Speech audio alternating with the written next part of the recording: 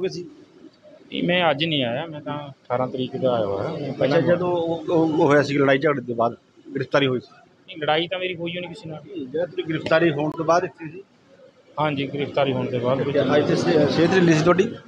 ਸਿਹਤ ਤਾਂ ਮੇਰੀ ਕਈ ਦਿਨ ਤੇ ਪਹਿਲਾਂ ਤੇ ਵੀ ਢਿੱਲੀ ਸੀ। ਤੇ ਹੁਣ ਮੈਂ ਇੰਜੈਕਸ਼ਨ ਵਗੈਰਾ ਟੀਕੇ ਟੂਕੇ ਲੱਗਦੇ ਨੇ ਕਿਤੇ ਤੇ ਹੁਣ ਠੀਕ ਹੈ ਕੀ ਹੁਣ ਜਿਹੜੇ ਕੇਸ ਦੀ ਕੀ ਪ੍ਰਕਿਰਿਆ ਹੈ?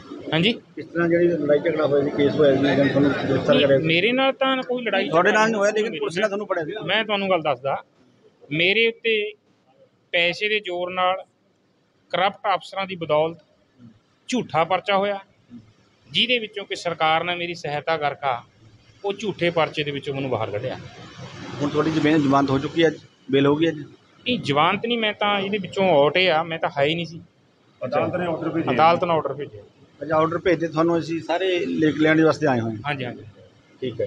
ਤੇ ਕੀ ਸੱਚ ਕੀ ਹੈ ਫਿਰ? ਸਿਸਟਮ ਆ ਇਹ ਕਰਪਟ ਆ। ਇਹ ਨੋਟਾਂ ਦੇ ਹਿਸਾਬ ਨਾਲ ਚੱਲ ਰਿਹਾ। ਸਰਕਾਰ ਤੁਹਾਡੀ ਸਰਕਾਰ। ਸਰਕਾਰ ਤੁਹਾਡੀ ਹੈ ਸਰਕਾਰ ਤੁਹਾਡੀ ਸੀਗੀ ਫਿਰ ਵੀ ਤੁਹਾਡਾ ਧੱਕਾ ਹੋਇਆ? ਜੇ ਸਰਕਾਰ ਸਾਡੀ ਤਾਂ ਹੀ ਇਨਸਾਫ ਆਇਆ ਸਾਨੂੰ। ਸਾਡੇ ਐਮਐਲਏ ਸਾਹਿਬ ਨੇ ਸਾਨੂੰ ਇਨਸਾਫ ਦਵਾਇਆ। ਸਾਡੀ ਸਰਕਾਰ ਨੇ ਸਾਨੂੰ ਇਨਸਾਫ ਦਵਾਇਆ। ਜੇ ਸਾਡੀ ਸਰਕਾਰ ਆ ਇਹ ਸਾਡੀ ਨਹੀਂ ਆਮ ਜਨਤਾ ਦੀ ਸਰਕਾਰ ਆ ਜਿਨ੍ਹਾਂ ਕਿ ਸਾਨੂੰ ਸਹੀ ਮਾਇਨੇ 'ਚ ਇਨਸਾਫ ਦਵਾਇਆ।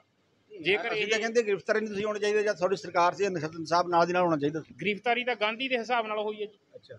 ਉਹਨਾਂ ਮੈਂ ਸਰਕਾਰ ਤੇ ਮੰਗ ਕਰਦਾ ਕਿ ਇਹਨਾਂ ਅਫਸਰਾਂ ਦੀ ਈਡੀ ਤੋਂ ਇਨਕਮ ਟੈਕਸ ਡਿਪਾਰਟਮੈਂਟ ਤੋਂ ਉਹਨਾਂ ਪ੍ਰਾਪਰਟੀਆਂ ਜਾਂਚ ਹੋਣੀ ਚਾਹੀਦੀਆਂ। ਜਿਸ ਅਫਸਰ ਨੇ ਇਹ ਗਲਤ ਕੰਮ ਕੀਤਾ ਉਹ ਟਰਮੀਨੇਟ ਹੋਣੇ ਚਾਹੀਦੇ ਤੇ ਜਿਹੜਾ ਹੈ ਕੀ ਮਾਮਲਾ? ਕਿ ਇਹ ਜਿੱਦਾਂ ਆਪਾਂ ਦੋਨਾਂ ਤਰ੍ਹਾਂ ਦੇ ਵਿੱਚ ਟਰਾਂਸਪੋਰਟਰਾਂ ਦੇ ਵਿੱਚ ਜਾਂ ਟਰੱਕ ਦੇ ਵਿੱਚ?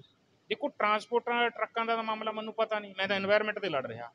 ਜਿਹੜੀ ਸੈਂਟਰਲ ਪੋਲੂਸ਼ਨ ਕੰਟਰੋਲ ਬੋਰਡ ਦੀ ਗਾਈਡਲਾਈਨ ਆ, ਮੈਂ ਕਹਿੰਦਾ ਉਹ ਲਾਗੂ ਹੋਣੀ ਚਾਹੀਦੀ ਆ।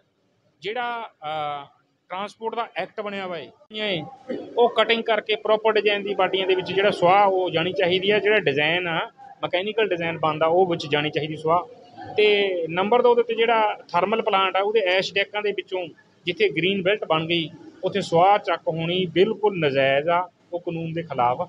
ਅਸੀਂ ਤਾਂ ਇਹ ਲੜਾਈ ਲੜ ਰਹੇ, ਉਸ ਤੋਂ ਬਾਅਦ ਵਿੱਚ ਜਿਹੜੀ ਐਂਬੀਐਂਟ 에ਅਰ ਕੁਆਲਿਟੀ ਆ ਸਾਡੇ ਏਰੀਆ ਦੀ ਬਹੁਤ ਜ਼ਿਆਦਾ ਖਰਾਬ ਹੋ ਚੁੱਕੀ ਆ ਤੇ 250 300 350 ਦੇ ਕਰੀਬ 에ਅਰ ਕੁਆਲਿਟੀ ਪਹੁੰਚੀ ਵੀ ਆ, ਜਿਹੜੀ ਕਿ 100 ਤੇ ਵੱਧ ਖਤਰਨਾਕ ਹੁੰਦੀ ਆ।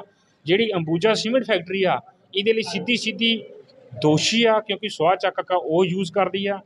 ਤੇ ਉਸ ਤੋਂ ਬਾਅਦ ਵਿੱਚ ਉਹਦੀ ਕੁਆਲਿਟੀ ਜਿਹੜੀ ਖਰਾਬ ਆ, ਉਹਦੇ ਲਈ ਇਹ ਦੋਸ਼ੀ ਹੈ ਇਹਨੂੰ 에ਅਰ ਕੁਆਲਿਟੀ ਸਾਫ਼ ਕਰਨੇ ਦੇ ਲਈ ਆਪਣਾ ਜਿਹੜਾ ਹੈਗਾ ਇਹ ਮਤਲਬ ਉਲੰਘਣਾ ਕਰ ਰਹੀ ਹੈ ਇਹਨੂੰ ਇੱਧਰ ਧਿਆਨ ਦੇਣਾ ਬਣਦਾ ਏ ਤੇ ਪੋਲੂਸ਼ਨ ਕੰਟਰੋਲ ਬੋਰਡ ਦੇ ਚੇਅਰਮੈਨ ਜਿਹੜੇ ਹੈਗੇ ਆ ਉਹ ਵੀ ਪ੍ਰੋਪਰ ਤੌਰ ਤੇ ਇਸ ਮਾਮਲੇ ਦੇ ਵਿੱਚ ਪੂਰਾ ਸੰਸੀਅਰ ਨਹੀਂ ਆ ਤੇ ਉਹਨਾਂ ਨੂੰ ਸੰਸੀਅਰ ਹੋ ਕੇ ਇਹਦੇ ਖਿਲਾਫ ਵੱਡੇ ਜੁਰਮਾਨੇ ਜਿਹੜਾ ਤੁਹਾਡਾ ਜਿਹੜਾ ਉਦੋਂ ਝਗੜਾ ਹੋਇਆ ਸੀ ਸ਼ਾਮ ਨੂੰ ਉਹ ਕਿਆ ਪਰਚਾ ਕੈਂਸਲ ਹੋ ਗਿਆ ਹੁਣ ਕਿਆ ਬਿਲਕੁਲ ਹੈਗਾ ਪਰਚਾ ਮੇਰਾ ਤਾਂ ਜੀ ਝਗੜਾ ਹੀ ਨਹੀਂ ਹੋਇਆ। ਮੈਂ ਤੁਹਾਨੂੰ ਬਾਰ-ਬਾਰ ਤੁਹਾਡਾ ਵੀ ਬਾਰ-ਬਾਰ ਤੁਹਾਨੂੰ ਦੱਸਿਆ ਜਾ ਰਿਹਾ ਵੀ ਝਗੜਾ ਜਿਹੜਾ ਹੋਇਆ ਹੈ ਤਾਂ ਤੁਹਾਡੇ ਨਾਲ ਸੀ ਬੰਦੇ ਜਿਹੜੇ ਟਰਾਂਸਪੋਰਟਰ ਦੇ ਐਡਾ ਵੱਡਾ ਪਰਚਾ ਦਰਜ ਹੋਇਆ।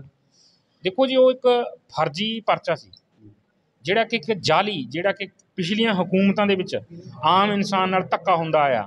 ਉਸੇ ਤਰ੍ਹਾਂ ਦਾ ਧੱਕਾ ਇਸ ਸਮੇਂ ਪੁਲਿਸ ਨਾਲ ਕਰਨ ਦੀ ਕੋਸ਼ਿਸ਼ ਕਰੀ ਪਰ ਪੁਲਿਸ ਆਮ ਆਦਮੀ ਦੀ ਸਰਕਾਰ ਦੇ ਵਿੱਚ ਇਹ ਧੱਕਾ ਕਰਨ 'ਚ ਵਿਫਲ ਰਹੀ ਔਰ ਸਰਕਾਰ ਨੇ ਸਾਡੇ ਐਮਐਲਏ ਸਾਹਿਬ ਨਾਲ ਤੇ ਸਾਡੇ ਮੰਤਰੀ ਸਾਹਿਬਾਨ ਜਿਹੜੇ ਨਿਆਂ ਦੇ ਹੈਗੇ ਨੇ ਇਹਨਾਂ ਨਾਲ